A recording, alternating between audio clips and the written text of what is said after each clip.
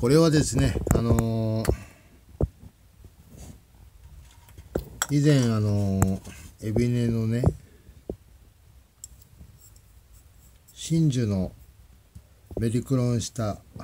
動画をアップしたと思うんですけども、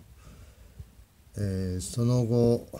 の真珠です。今こんな状態ですね。根っこがこんな風になってます。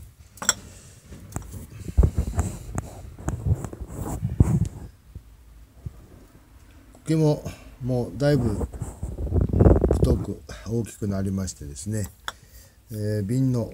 上の方まで、えー、届いてきました。あとはですね まあこれ今1本しか、えー、ここには見えま見えませんけどね、えこれを本格的なメリクロンをしていきます。まあこのままですねあの瓶から出して純化してっていうんでは1本で終わってしまいますんで、えこれをある程度必要な本数分だけですね、え今年は増やしていきたいなと思っているのでそうですね、まあ、100本ぐらいを 目標としてやっていこうかなとは思うんですけどもあとですね、うん、23日したら 移植する作業を、うん、していこうかなと思うんですけどとりあえずあの あの時ですね、えー、これはバルブの下のとこですね。